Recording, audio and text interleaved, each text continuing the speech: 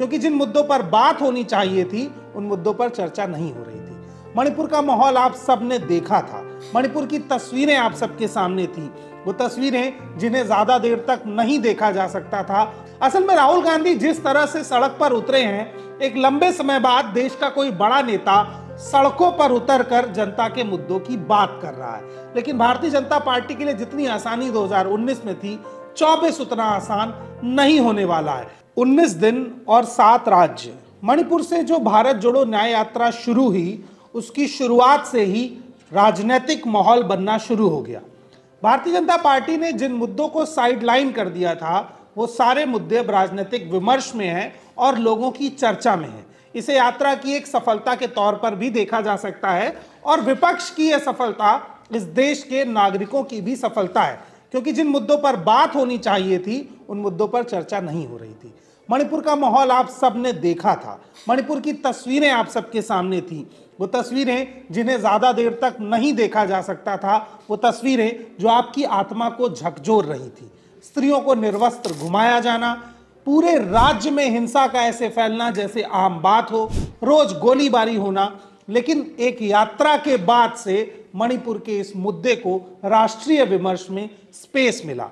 वो यात्रा मणिपुर से जब बिहार पहुँची तो नीतीश कुमार कांग्रेस का दामन छोड़ करके जा चुके थे। वो इस महागठबंधन से बाहर हो गए थे। ऐसा अनुमान लगाया गया कि यात्रा में कम भीड़ जुटेगी, लोग कम आएँगे। लेकिन वो सारे अनुमान धरे रह गए और यात्रा में भयानक भीड़ उमड़ी। लेकिन अब बात बंगाल पहुँची भारत जोड़ो न्याय यात्रा की। एक तस्वीर मेरी स्क्रीन पर आपको दिख रही होगी। ये तस्वीर पश्चिम बंगाल में भारत जोड़ो न्याय यात्रा की शुरुआती दौर की तस्वीर है। ये तस्वीर दिखा रही है कि वो तमाम नरेटिव्स जो मीडिया के ज़रिए सेट किए जा रहे हैं, जैसे मेन स्ट्रीम मीडिया ने इस यात्रा को ब्लैकआउट कर दिया हो, वो सारे नरेटिव धरे के धरे रह जा रहे हैं। ये तस्वीर साफ़ साफ़ बता रही है कि बंगाल में भारत जोड़ो न्याय यात्रा को भारी जन समर्थन मिल रहा है। और यही नहीं, बंगाल के बाद ये यात्रा फिर से बिहार पहुंचेगी। उस समय भी बड़े जन समर्थन और जन सैलाब की उम्मीद जताई जा रही है। असल में राहुल गांधी जिस तरह से सड़क पर उतरे हैं, एक लंबे समय बाद देश का कोई बड़ा नेता सड़कों पर उतरकर जनता के मुद्दों की बात कर रहा है।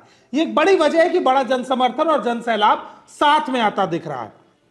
राहुल गांधी जब पहुँचे बंगाल तो अग्निवीर का जो पूरा मसला है, जिसके ज़रिए लगभग करोड़ों युवाओं के साथ रोज़गार के नाम पर धोखा हुआ है, उस मुद्दे पर लोगों से संवाद कर रहे हैं। राहुल गांधी ने बात भी कही कि अगर मीडिया में नहीं दिखा रही है और विपक्ष को स्पेस देना खत्म कर रही है तो हम सीधे आपसे आकर के मिलेंगे। और वो सीधे मिलने का दौर ही ये भारत जोड़ो न्याय यात्रा है।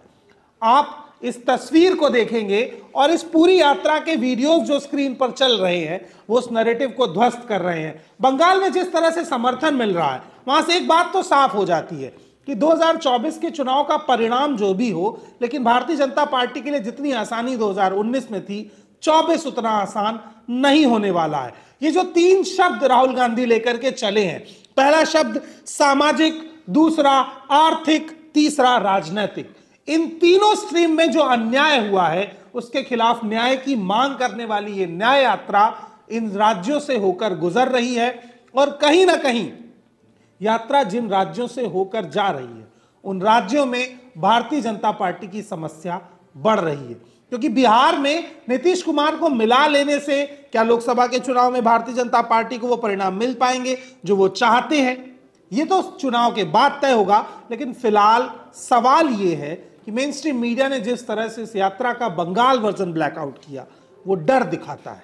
वो दिखाता है इस बात का डर कि अगर लोगों तक राहुल गांधी के विचार और इस यात्रा की यथास्थिति पहुंचेगी तो वो नरेटिव जो सेट है, वो कहीं ना कहीं ध्वस्त होगा। असल में सुबह आठ बजे से यात्रा शुरू हो जाती है और शाम के आठ बजे तक ये यात्रा चलती है। इस बीच जगह जगह रैली होती है, जनता से संवाद होता है और राहुल गांधी युवाओं से भी संवाद करते हैं।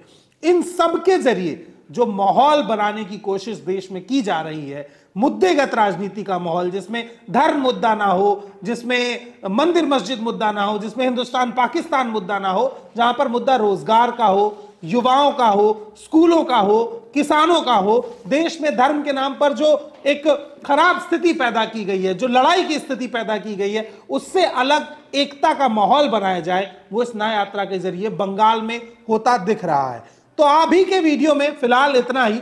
आगे की अपडेट्स लेकर हम आपके पास आते रहेंगे। तब तक के लिए मॉलिटिक्स को सब्सक्राइब कीजिए बेल आइकन दबाइए और बने रहिए हमारे साथ। बहुत बहुत धन्यवाद।